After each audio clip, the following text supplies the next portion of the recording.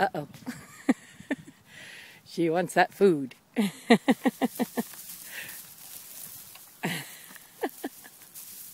Come on. Let's go.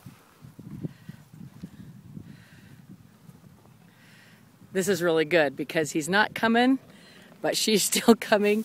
And then, come on, baby boy. And then hopefully he'll make up the difference. He's got the prettiest colored legs. Good girl. But this is a way to bring him in that's just not stressful for mom and not stressful for him. And I get a little video. Well, look how close I am to our baby right now. And we sure couldn't do that two days ago.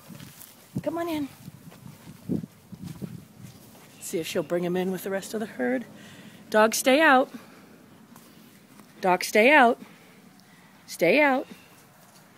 Good. Everybody's in. And she's not upset or anything. Oh, goodness. Oh, got a little cough.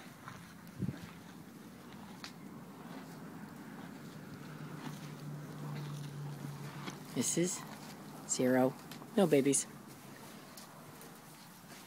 It's nice. She's just working her baby through the whole crowd.